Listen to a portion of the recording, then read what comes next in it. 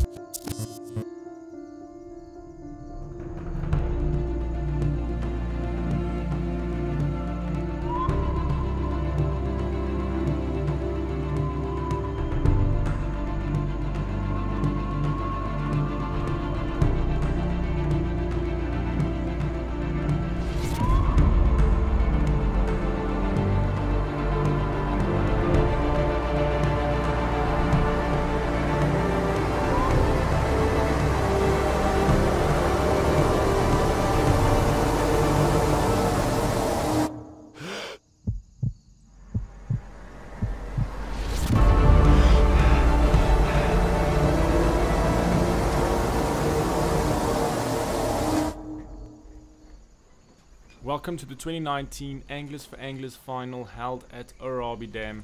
I'm your host Roan Smith and today we will we will be looking at a few teams competing to take the win and to qualify for the super finals which will be held at Driekoppies Dam later this year in November. And uh, this is an exciting event for, for the Anglers of Anglers every year, uh, one of the highlights of our year definitely. And here we are looking at team Risk Assured, Johan and Colin. Risk Assured is also an official sponsor of the Anglers for Anglers, so a big thank you to them. And uh, yeah, they landed a very nice first fish for the day. Always awesome starting a day with a kicker like that, to looking at about five pounds there. Absolutely awesome first fish. Then we move over to myself and Umbux, Team Redemption. Me and Umbux decided to fish offshore early in the morning to fish some of those trees. And uh, the fish was suspended, so not the easiest of fishing, but it did pay off at the end of the day. Here I got hooked up to our first fish of the day. In the tree, it really is a high risk, high reward situation. So many anglers lost some really big fish fishing these techniques in the trees and uh, yeah, they just wrap you, boom, and snap your line. It doesn't matter if you've got 15, 20 pound line, they, they wrap you and it's a done deal. But a very nice first fish for us and we were very happy to get the tempo going. Team Big and Bass, Jock and Ruben Forster also joined the Anglers for Anglers final. They are tied in sixth place with Team Bass Machine, some two really good teams sitting in sixth place. Then we have a look at Team Bass World, Vion Rath and Jono Jersley. They are in the game for the Angler of the Year title, so they are really have to give their A game this competition. And Vion does that. He's hooked up to his first fish for the day, and it is a big one. Jono hooks uh, nets the fish here for him. As you guys can see, that is a proper first fish. Gary Pete and Adrian Late sitting in the top 10 before this competition as Team Technomeg, two well-known anglers in the sport of bass fishing. Just a little bit of history about the dam. The Arabie Dam is also known as Flag Boshielo Dam. It lies in the Olifants River near Marble Hall in Limpopo in South Africa. It was established in 1987 and it has a capacity of 185 million cubic meters, so quite a large surface area. The dam has some pretty good fishing Security can be an issue at times, so you gotta be cautious as well as there's some massive crocodiles. Here I am hooked up to our second fish for the day. Also another keeper, Bux nets the fish for us and we get our second fish in the box. Always nice getting a limit early on, especially if you can get a decent limit like that. It really does help. Back to team Bassworld. Vian hooked up again with a proper fish. So far they have had two first place finishes this season so they have been a really consistent team, and consistency is key in the tournament format series that we are fishing currently. And here they are hooked up to their second fish for the day as well, getting their limit ready to start culling awesome fish again once from Vion Rath. Just a quick weather update. Temperatures was reaching the upper 30 degrees Celsius mark with little to no wind throughout the day and no cloud cover as at all and water temperatures was reaching the low 80 degree Fahrenheit mark. Johannes hooked up once again here with the fish for them. They have done really well this season. It is their first season of competitive bass fishing and they have done really well sitting in fourth place overall. What a great second fish for Team Risk Assured. Here we have a look at Team Take a Bite, Johan Kutzer and Johnny Engelbrecht. Back to Team Redemption when Bux is hooked up and it looks like a proper fish we are looking to put our third fish in the box.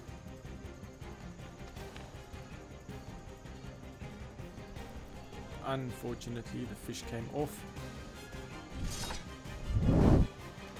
Back to Team Bass World once again. They are actually one of the very few teams still fishing a spawning pattern. Most of the teams, including myself and Burks, were fishing post-spawn patterns, and they were one of the few teams that picked up that there's still a, quite a few spawning fish, and they capitalize on those uh, fish. Here we look at Johan once again, hooked up, keeping the fish low. These fish are notorious for spitting your bait. Not one of their biggest fish of the day. I'm sure they'll be cutting that throughout the day. Here we have a look at Team Stretch 60 from Mike Kluter and Terry Hyde. Mike is hooked up here.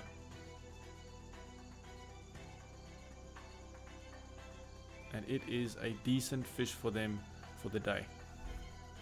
Mike and Terry are two very well and respected anglers in our field of bass fishing. Let's move over to Team Bass World once again. They are fishing some sparse brash, quite shallow water over there, and Vian showcasing one of their bigger fish for the day. Me and Umbux still fishing the tree pattern. Still early in the morning. We managed to get our bag really, really early in the morning, so we were lucky about that. It really helped us get confidence for the rest of the day. Yeah, I got hooked up once again. The bite was so subtle. Most of the times you don't even feel it. You just feel the fish start running with your line, so you got to pay attention to your line. The slightest tick and you got to set the hook. Young Bucks nets the giant for us.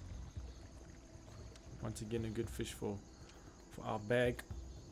Weighing the fisher to check if it's going to cold, yes or no. This stage we still didn't have limits, so moving over to team risk assured once again. Colin hooked up here to one of their fish. I think they're on their second or third fish by now. Let's move over to team 5 alive, Lapis and Sean. They are currently sitting in 5th place before this competition. Here we have a look at Umbux. This was about 11 o'clock or 10 o'clock in the day. I'm not exactly sure time wise. Bix is hooked up here. By this time it was already very very hot.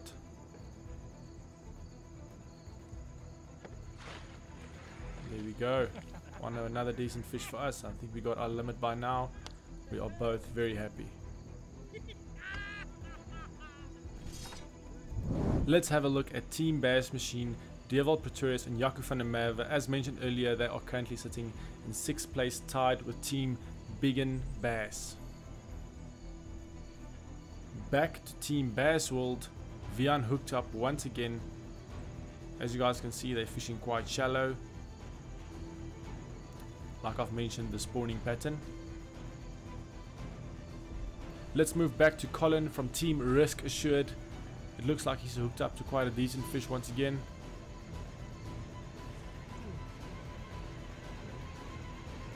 These fish have a tendency to try and go down one last time as soon as they get to the boat, so a lot of fish was lodged right at the boat.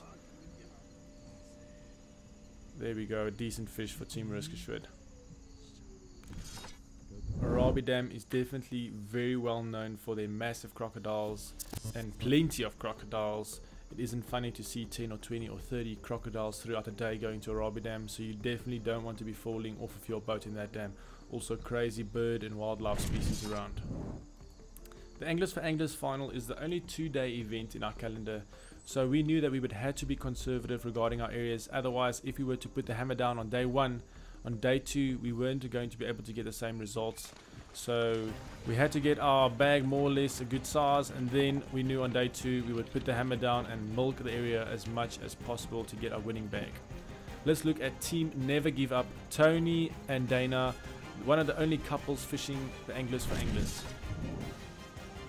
Back to team Risk Assured.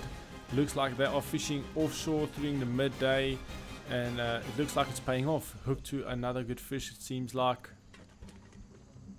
On their Cracklebak 460 bass boat. Equipped with a Motor Guide XI5 trolling motor. It seems like the fish is taking them to the trolling motor. Looks like they are stuck in the trolling motor. Always not a good situation to have yourself in. I've lost multiple fish myself getting line stuck in a trolling motor.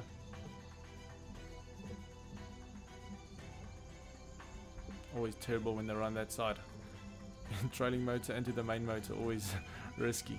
Seems like Colin has the line. Is the fish still on? The fish is still on. It looks like a decent fish as well. Wow. Hand lining a good sized fish. Very well done. Luckily the fish didn't come off. Back to Team Redemption, myself and Umbux. It is our first season fishing together and uh, we are very lucky. We've had three third places in a row, a fifth place, a first place and a few top tens and uh, we are looking to do it once again. Yeah, I'm hooked up to another fish.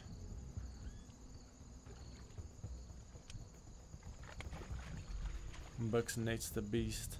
And at this point in the day, it's extremely hot and hard to concentrate, but managed to get a nice fish for us. Back to team risk assured. Seems like Colin is once again hooked up. Yo! what a beast. Let's have a look at Team Bass Fever Flip Maritz and John Pierre Maritz doing very well this season as well. Let's move over to Team Bass World. Once again, Vian is hooked up, John netted, and wow, what a what a fish. Seems like it's definitely worth celebrating. At this point in the day, myself and the Bix had a fairly good bag and we were looking for a few upgrades here and there out of our areas to try and save those areas of ours for day two and Umbux got hooked up to another good fish here.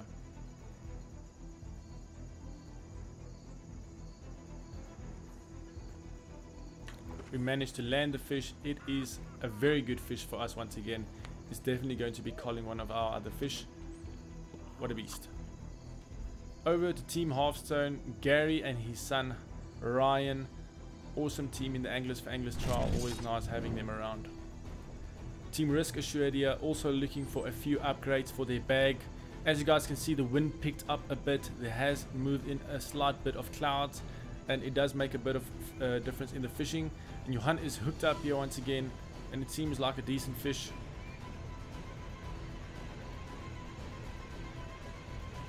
They land the fish and it is indeed a decent fish.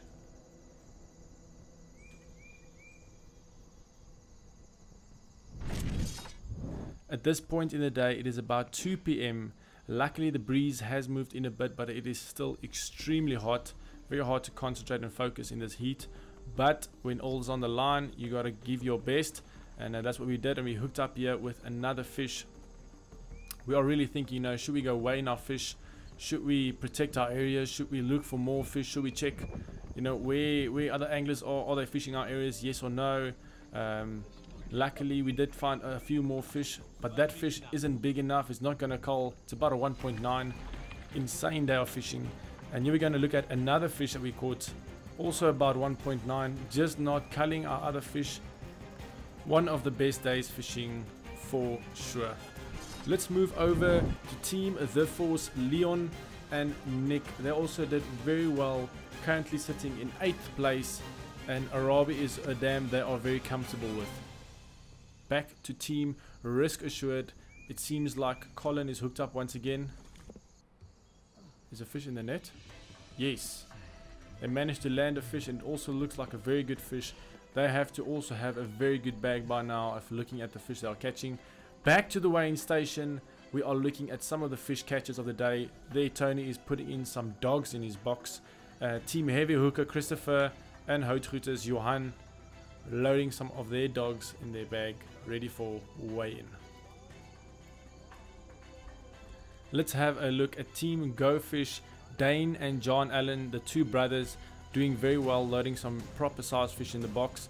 They definitely in contention for the win on day two, so stick around for day two to see what these boys do. Some really good fish that they are putting in the bag. Let's have a look at the Arabie final day one top 10 results. Five Alive, Bass Machine, Redemption, Big and Bass, Bass Fever, Team Outsiders, Technomix, Straight 60, Risk Assured, and Bass World. Guys, stay tuned for day two.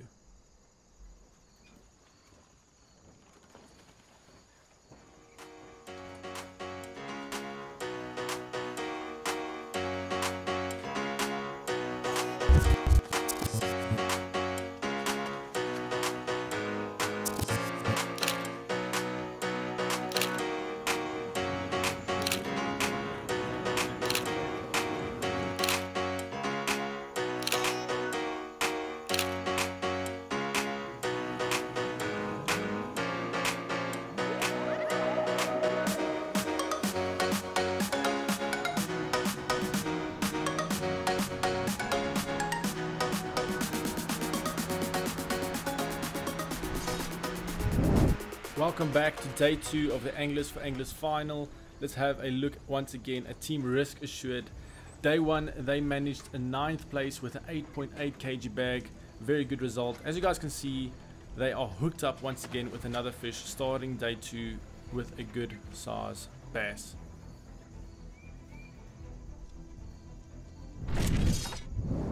Let's move over to Team Bass World. Day one, they got a 10th place with an 8.8 kg bag as well. And uh, once again, Vian hooked up their first fish for the day. It seems like a good one. It is an absolute monster. Awesome way to start day two. Once again, fishing their spawning pattern. As you guys can see, Team Visa is busy taking out a net. Gerrit and CJ, a big thank you to you guys. Guys, if you see any nets on the dam, please remove them as much as possible as it does make a big difference if we stand together we can make a difference removing some of these nets. Back to team risk assured. Once again we got Johan he's hooked up to their second fish for the day. And it looks once again like a better fish. Colin nets the fish for them. It's definitely a keeper for them for day two. Over to team Bass World once again. It is Jono's turn to hook up and he does that off of the Green Mamba, the legendary Thunderbird bass boat. And these boys have a really good shot at competing for the Angler of the Year title today. As bass fishermen, we all like our toys. Here we look at Gerrit Ranger 188 VS paired with a 300 horsepower Mercury Verado. It runs absolutely beautiful. Team Visa here, Gerrit and CJ de Beer on day one, they managed a 6 kilogram bag.